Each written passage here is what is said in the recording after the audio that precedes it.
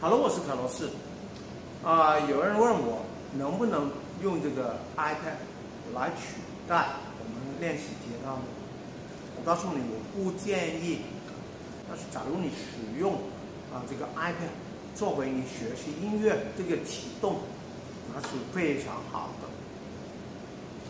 很多学习吉他的人都告诉我，开始的时候经历很大的困难。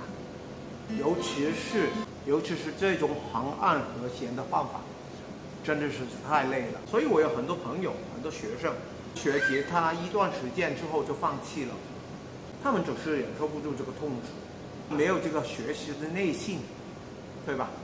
一般开始学弹吉他，啊、学六个和弦已经非常够了，一般就是 C 和弦。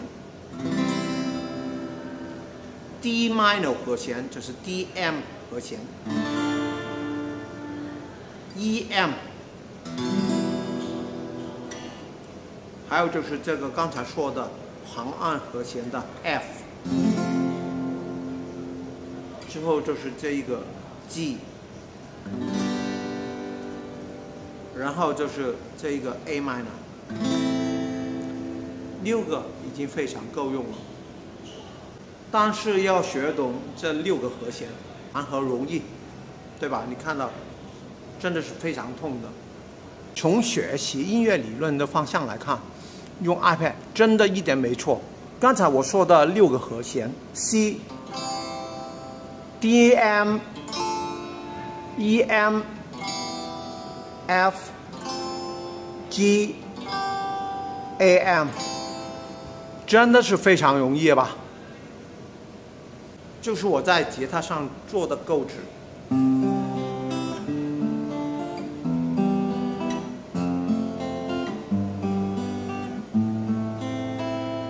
在 iPad 上也能轻易做到。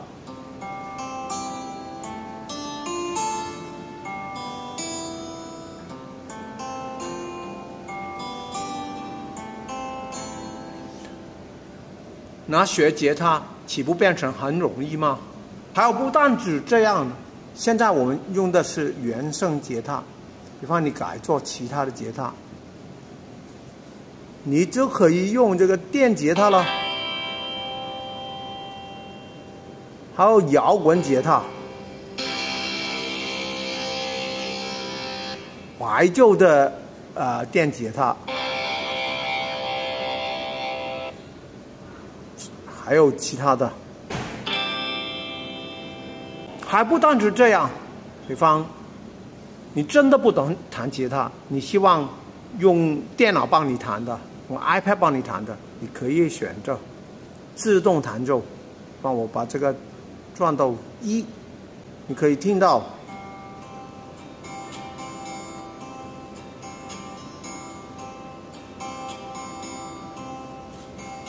那就是一个不懂弹吉他的人能弹出一首歌了。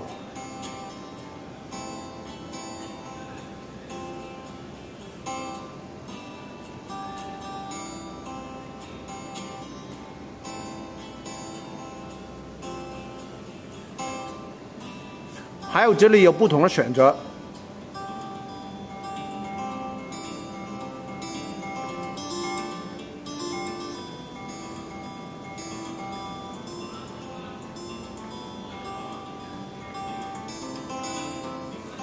这个在吉他上是非常难的，因为在吉他上弹这么快，真的一点不容易啊。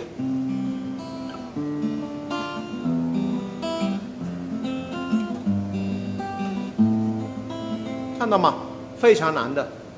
那我刚才说过，你可以跳其他不同的吉他，比方你跳这个硬式摇滚，还有这些呃效果器，你也能选择不同的自动弹奏，而弹出来的风格是哪一种音乐？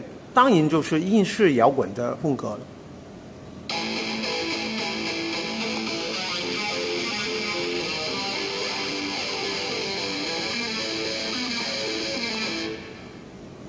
一起来听听我爱旧怎么样呢？怀旧画上就是我们说的画画。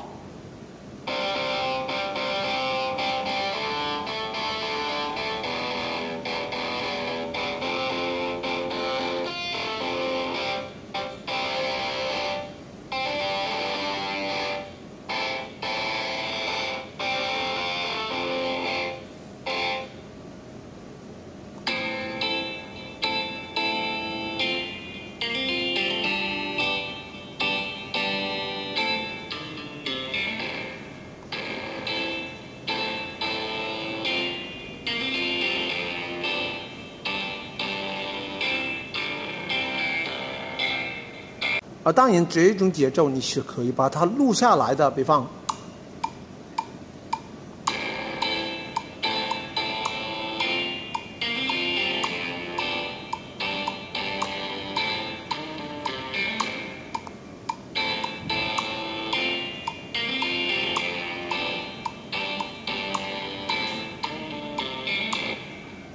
看看在音轨出现什么？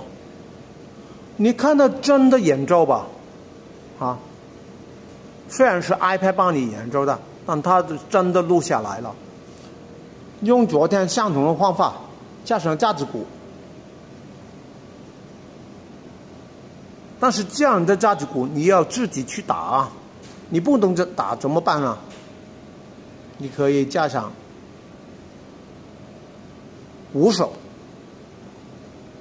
用电脑代替，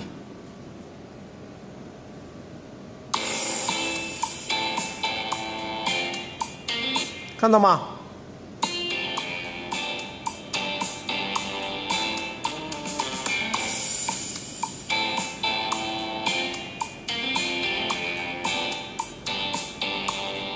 那这个音乐不是自动完成吗？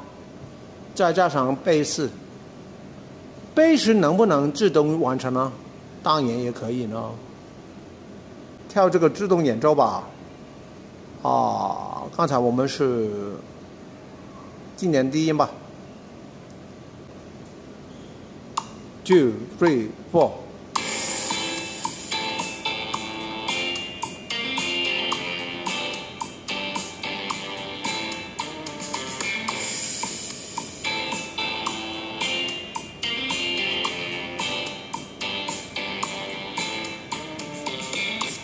或者我应该说，这样的这个配置不是用来学习弹吉他的，也是不是用来代替弹吉他的，这其实是一个创作的工具。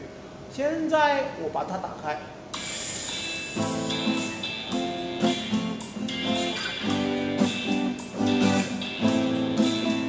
我就能跟他合作了。